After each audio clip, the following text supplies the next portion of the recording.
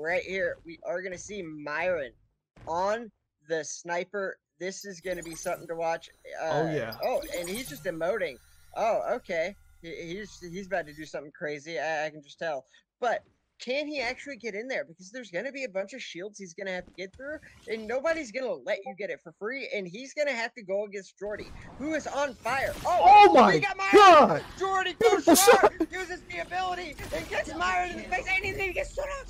Oh my god, JordyGoesRAWR is an animal. Jordy is definitely What roaring today. You could just see the, I don't know, that super chi coming off of his Ossas.